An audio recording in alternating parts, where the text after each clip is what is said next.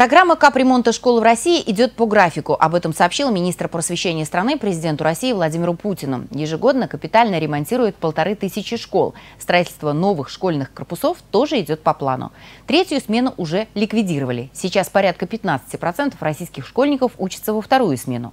В Мордовии к 1 сентября строители закончат работы в школе на 600 мест в северо-восточной части Саранска в новом микрорайоне, где много детей. Свежепостроенный корпус готовят к сдаче и в Белозерьевской средней школе. Пристрой рассчитан на 165 учеников. Кроме того, в столице региона к сентябрю будет завершено строительство коррекционной школы-интерната. Сейчас здесь завершают установку отопительной системы и фасадные работы.